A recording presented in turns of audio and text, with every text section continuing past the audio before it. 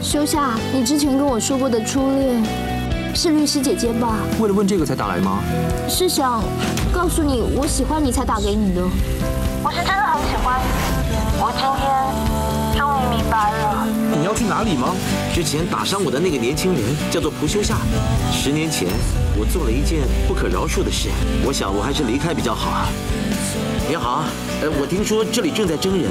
你是金吉东对吧？是，老板娘你好。周一至周五晚间十点。